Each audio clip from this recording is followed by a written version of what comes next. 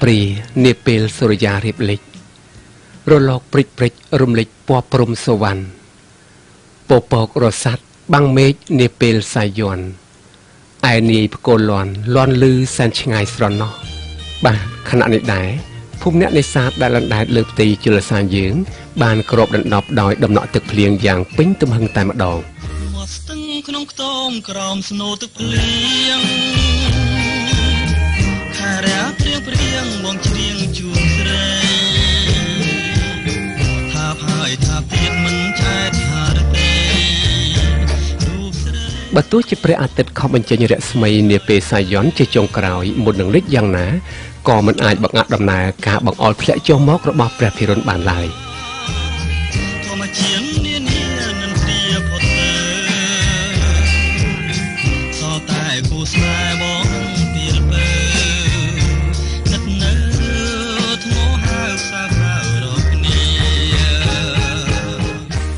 នេះគឺជាអំណាចនៃព្រះភិរុន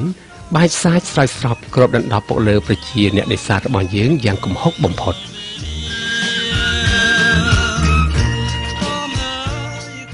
ខណៈនេះដែរប្រជាអ្នកនេសាទរបស់យើងពុំបានតក់ស្លុតនឹងដំណក់ទឹកភ្លៀងទាំងនេះឡើយ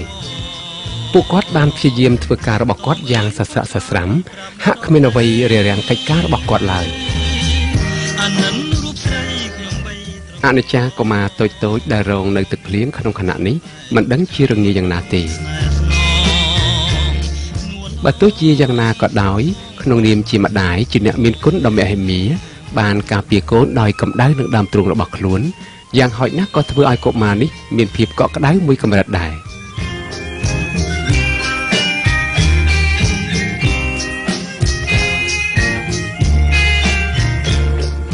នៅត្រង់ចំណុចនេះដែរគឺជាចំណុចផ្លូវទឹកបំបែកមួយទៅទន្លេសាប មួយទៀតទៅមង្គលបុរីធ្វើឲ្យទឹកនៅត្រង់ចំណុចនេះមានភាពហូរខ្លាំងដែលជាការលំបាកដល់ប្រជានេសាទយើងក្នុងការអុំទូកបញ្ច្រាស់ទឹក។អ្នកដែលមានទូកម៉ាស៊ីនគឺអាចធ្វើដំណើរបានយ៉ាងងាយហើយអ្នកដែលអុំដោយដៃគឺខំប្រឹងអុំឡើងតឹងសរសៃដៃគួរឲ្យអាណិតអាសូរយ៉ាងពុនប្រមាណសូមអើយគុំឆ្លើយប្រាប់អ្នកដទៃ អានិនរូបស្រីខ្ញុំបីត្រកសូមតែជួយចាំបណ្ដាំស្នេហ៍ស្នងនួលឡងសាសងស្បត់ស្បាយនឹងពី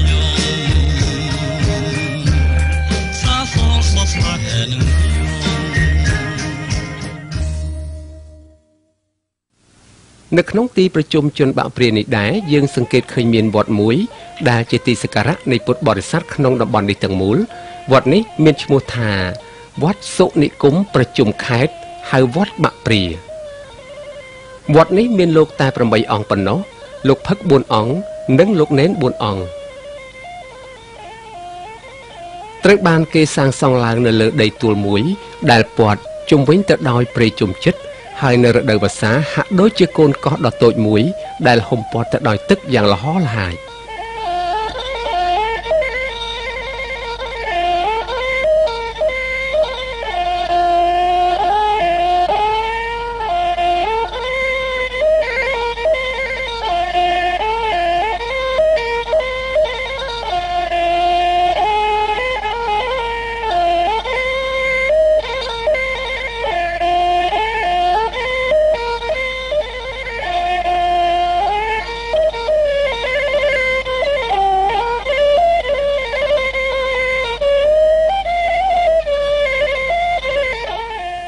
បាទប្រិយមិត្តអ្នកទេសនាជាទីគោរព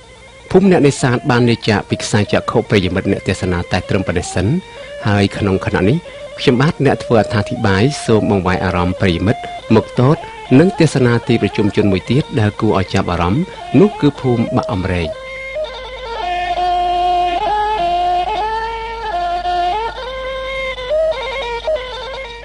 មិបាក់អំរែកស្ថិតទល់មុខគ្នាជាមួយនឹងភូមិរិះដូនកែវនៃឃុំនរិនដែលមានស្ទឹងសង្កែខណ្ឌភូមិទាំងពីរនេះ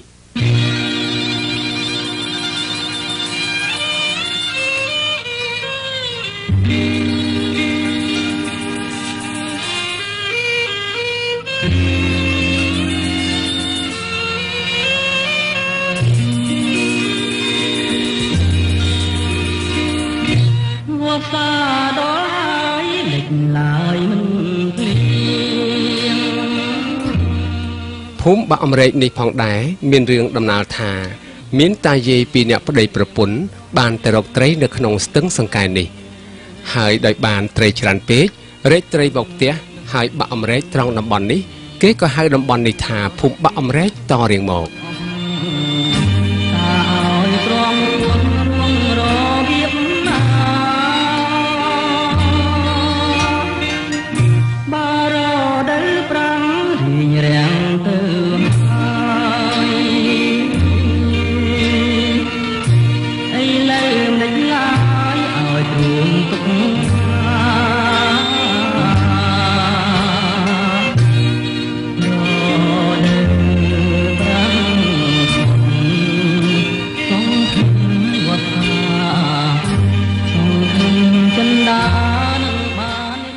ប្រជាជននៅក្នុងតំបន់នេះភាគច្រើនប្រកបរបរធ្វើស្រែចម្ការរកត្រី និងដាំក្រចៅផងដែរ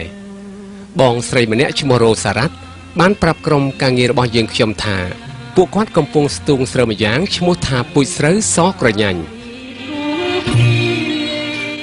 ពូជស្រូវនេះជាប្រភេទស្រូវវា គឺនៅរដូវវស្សាវាឡើងតាមទឹកបានពោលគឺជាប្រភេទស្រូវឡើងទឹក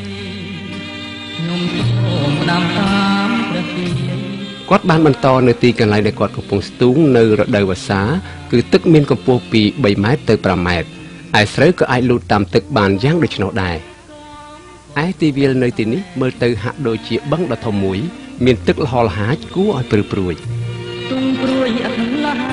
ខ្លាចណែក្រឡាំ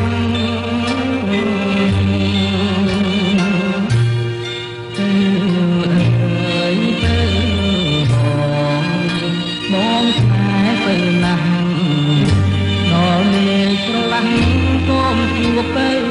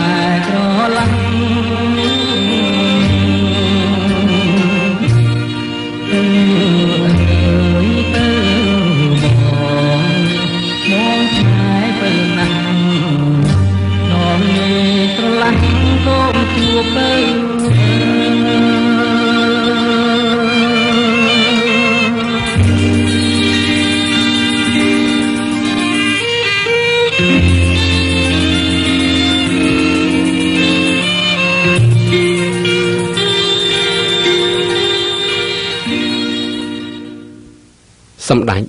ទ្រង់ឯកឧត្តមលោកជំទាវលោកលោកស្រីប្រិយមិត្តអ្នកទេសនាជាទីគោរពសម្រាប់ទំព័រថ្មីនៃកម្ពុជាតាមបណ្ដោយដងស្ទឹងសង្កែក្នុងពេលនេះសូមគោរពលាប្រិយមិត្តអ្នកទេសនាតែត្រឹមប៉ុណ្ណេះសិនសន្យាជួបគ្នានៅវគ្គបន្តទៀត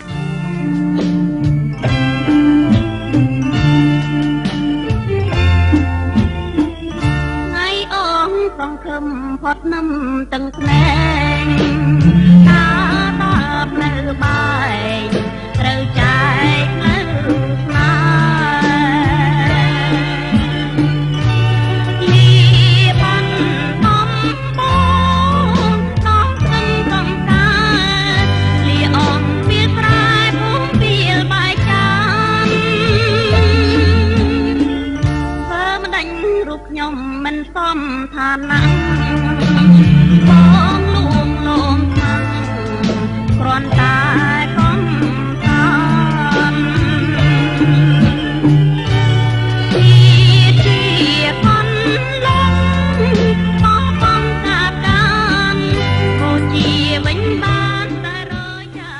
ខណៈនេះខ្ញុំបាទអ្នកធ្វើអត្ថាធិប្បាយសូមបង្វែរអារម្មណ៍ប្រិយមិត្តអ្នកទេសនាមកតតនឹងទេសនាទំព័រថ្មីនៃកម្ពុជា ក្នុងខេត្តព្រះវិហារវិញម្ដង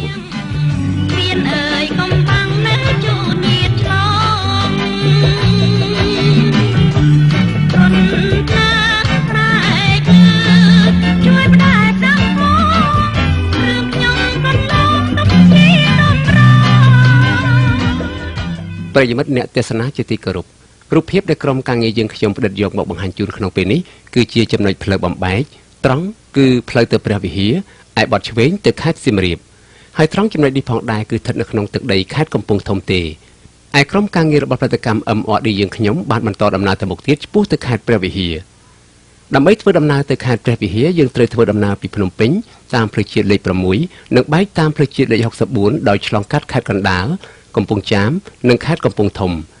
បើគិតពីភ្នំពេញទៅព្រំប្រទល់ខេត្តព្រះវិហារមានចម្ងាយប្រមាណ198គីឡូម៉ែត្រខណៈនេះក្រុមការងាររបស់ព្រឹត្តិកម្មយើងខ្ញុំបានមកដល់ព្រំប្រទល់ខេត្តព្រះវិហារហើយជាប់ព្រំប្រទល់នេះមានភូមិមួយឈ្មោះថាភូមិជីអោកឃុំរមនីស្រុករវៀងខេត្តព្រះវិហារ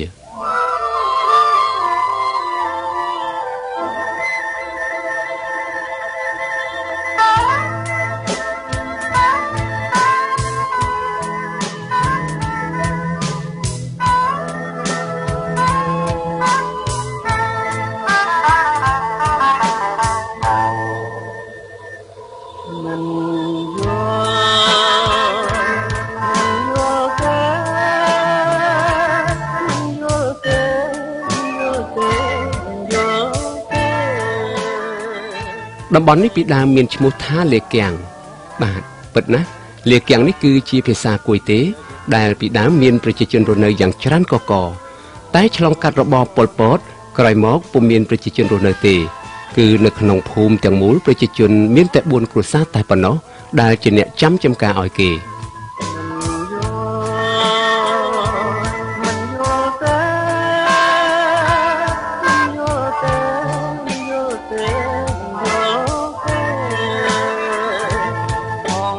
តំបន់នេះសម្បូរទៅដោយដំណាំជាច្រើនប្រភេទតែដំណាំដែលបានផលជាងគេគឺដំឡូងមី និងដំណាំស្វាយចន្ទី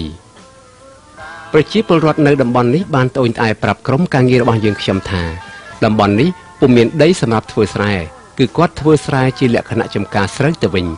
គឺគាត់ត្រូវយកគ្រាប់ស្រូវទៅព្រោះហើយស្រូវក៏ដុះគាត់ពុំចាំបាច់ដកស្ទូងបំទឹកបញ្ចូលស្រែឡើយហើយការធ្វើចំការស្រូវបែបនេះពុំទទួលផលបានច្រើនដូចធ្វើស្រែទេ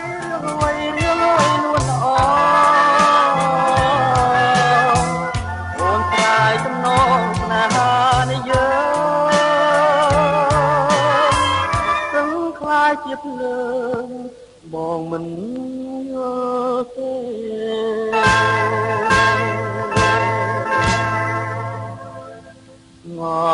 ណា